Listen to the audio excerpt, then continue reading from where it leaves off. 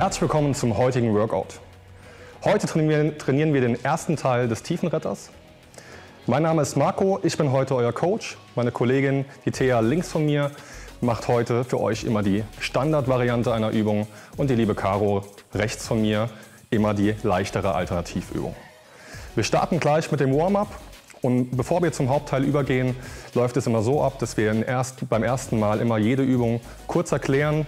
Das gibt euch die Möglichkeit, eure Variante zu finden und dann starten wir scharf in eine Runde a 30 Sekunden Belastung. Beginnen wir mit dem Warm-up. Erstmal die Schultern locker kreisen.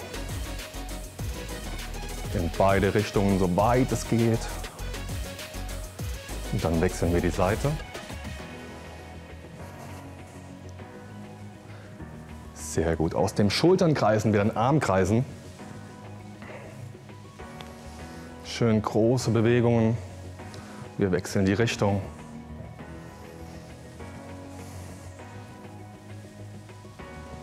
Sehr gut. Kurz locker machen. Dann lockern wir die Halswirbelsäule etwas auf, den Nacken und drehen den Kopf. Erst in die eine Richtung, so weit es geht, in beide Richtungen. Noch einmal. Und wir wechseln die Richtung. Noch einmal. Und gut. Damit wir jetzt noch etwas das ähm, Herz-Kreislauf-System in Schwung bringen, bevor wir loslegen, enden wir das Warm-up mit dem Air Swing. Der Air Swing sieht folgendermaßen aus, indem wir in eine Skispringer-Position nach vorne gehen, kommen dann relativ explosionsartig nach hoch, stoppen in der Höhe und machen das Ganze über 30 Sekunden. Ja? Langsam in die Position kommen, immer darauf achten, leicht in die Knie gehen, gerader Rücken, Brust raus und hoch. Macht euch bereit, letzter Teil des Warm-ups, wir starten 30 Sekunden. Sehr gut. Gerader Rücken, Brust raus. Super.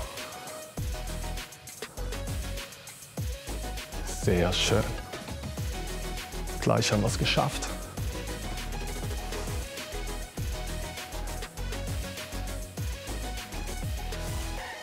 Noch vier, drei, zwei, eins.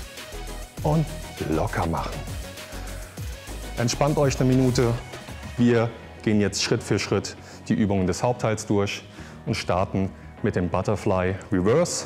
Dazu beugt ihr euch, soweit es geht, mit einem geraden Rücken nach vorne. Achtet dabei darauf, dass die Brust schön raus ist, dass ihr einen geraden Rücken habt. Hände sind geschlossen, und dann öffnen wir sie so weit es geht nach oben, ziehen die Schulterblätter zusammen und führen die Arme wieder nach unten. Ihr dürft dabei ein Zusatzgewicht nehmen. Die Kollegin nimmt jetzt in dem Fall zwei Flaschen. Das könnt ihr variieren. Oder ihr startet erstmal ohne. Da würde ich sagen, beginnen wir die 30 Sekunden, machen uns fertig und auf geht's. Beine dürft ihr leicht beugen, sodass die Spannung auf der Rückseite der Oberschenkel nicht so weit ist.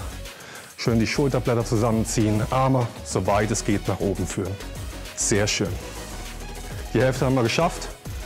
Noch 10 Sekunden und 9, 8, 7, 6, 5, 4, 3, 2, 1 und gut locker machen.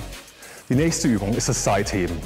Die erste Übung war insbesondere dafür da, um die Oberrückenmuskulatur etwas aufzulockern, etwas besser durch, zu durchbluten. Und jetzt kümmern wir uns um die seitliche Schultermuskulatur und die Nackenmuskulatur. Die Übung sieht ähnlich aus. Wir gehen ganz locker in die, in die Hocke, legen uns nur leicht nach vorne und bringen dann die Arme seitlich nach oben. Bis auf Schulterhöhe bei Schulterproblemen gerne auch etwas tiefer lassen, bis dahin, wo es beschwerdefrei möglich ist. Sehr gut. Ganz locker in die Knie gehen, leichte Vorlage. Und dann starten wir in die 30 Sekunden. Ab jetzt. Sehr gut. Auch hier nochmal mit Gewichten oder ohne. Schön die Spannung halten. Super. Jeder in seinem Tempo. Noch 10 Sekunden. Gleich habt ihr es geschafft. Noch 8, 7, 6, 5, 4, 3, 2, 1 und gut. Locker machen, kurz die Pause genießen. Wir gehen schon mal in die nächste Übung rein. Das wird jetzt ein kleiner Sprung und zwar nochmal zum Schluss, um das Herz-Kreislauf-System etwas in Schwung zu bringen. Das Ganze nennt sich Side to Side. Also wir gehen immer von der einen Seite zur anderen Seite, setzen kurz den Fuß auf, tappen auf und gehen wieder zurück. Und damit starten wir jetzt gleich die 30 Sekunden. Erstmal reinkommen, genauso wie die Damen hinten. Nehmt gerne die Arme nach vorne und zurück, sodass wir noch ein bisschen den Oberkörper dabei haben. Und dann würde ich sagen, starten wir in die 30 Sekunden in 3, 2, 1, auf geht's. Jawohl. Schön die Arme nach vorne strecken, soweit es geht, nach hinten ziehen. Super.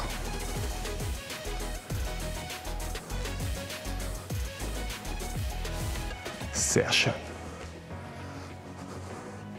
Noch acht Sekunden. Ihr könnt entscheiden, ob ihr dann das Ganze weitermacht und mich erklären lässt oder ob ihr die Zeit nutzt, um eine kurze Pause zu machen. So, offiziell sind die 30 Sekunden des ersten Teils vorbei. Wir erweitern das Ganze jetzt, wenn es möglich ist, durch eine Kniebeuge, eine halbe und erweitern die Übung. Für alle, denen das zu schwer ist, die nicht schwitzen wollen, die machen den ganz normalen Sidestep weiter. Und dann würde ich sagen, starten wir mit den 30 Sekunden in 3, 2, 1 und auf geht's. Super. Schön darauf achten, dass bei diesem Squat, bei diesem halben Squat, immer die Füße komplett auf dem Boden bleiben, die Fersen nicht abheben und die Knie etwas nach außen geschoben werden. Sehr schön. Arme schön mitnehmen. Super macht ihr das. Wir haben es gleich geschafft. Noch 10 Sekunden, dann gehen wir schon in den Endspurt. Rein und noch 6, 5, 4, 3, 2, 1. Und gut, ihr dürft gerne in dem Grundschritt bleiben, bevor wir in den letzten Teil gehen. Und zwar kombinieren wir jetzt diese Kniebeuge mit einem sogenannten Leg Curl und ziehen das Bein nach oben an. Ziehen also die Hacke zum Po und der Squat bleibt dabei. Wenn es euch zu schwer ist oder aus Kniebeschwerden nicht möglich ist, macht ihr es wie die Kollegin und fügt dem Sidestep noch der, den sogenannten Leg Curl hinzu. Wir machen uns fertig, starten in 3, 2, 1, auf geht's. Letzte Übung des Hauptteils und dann gehen wir schon in das Cooldown rein und auf geht's. Super. Jeder in seinem Tempo.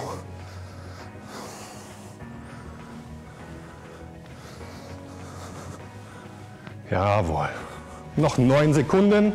Acht, sieben, sechs, 5, 4, 3, 2, 1 und super.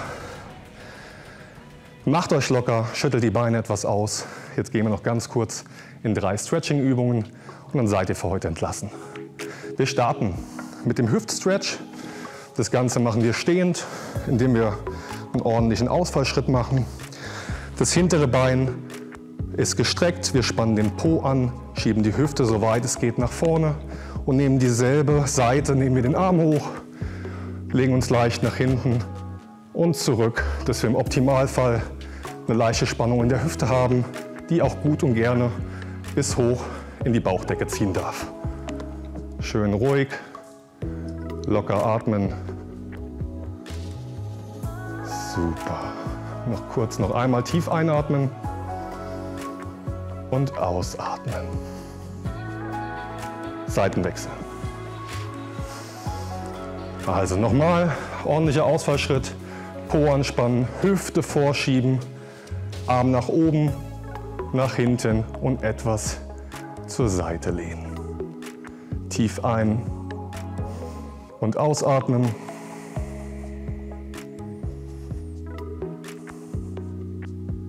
Noch einmal tief ein und aus. Sehr schön. Kurz nochmal locker machen, dann kommen wir zu den Schulterblättern. Dafür verschränken wir die Finger vor uns, ziehen dann die Hände so weit es geht vom Körper weg. Der Kopf neigt sich langsam zur Brust hin und wir ziehen die Schulterblätter so weit es geht auseinander, sodass eine leichte Spannung zwischen den Schulterblättern entsteht. Schön halten. Genau. Ungefähr auf Schulterhöhe und schön auseinanderziehen. Tief ein und ausatmen. Noch einmal tief ein und ausatmen. Kommen wir zuletzt noch einmal zum Nacken, dass wir den auch noch etwas auflockern. Und zwar stellen wir uns dafür ganz locker hin, legen den Kopf leicht oder so weit wir können zu einer Seite unserer Wahl. Die entgegengesetzte Schulter zieht dabei so tief es geht nach unten. Wir dürfen das Ganze auch gerne noch etwas mit der Hand verstärken.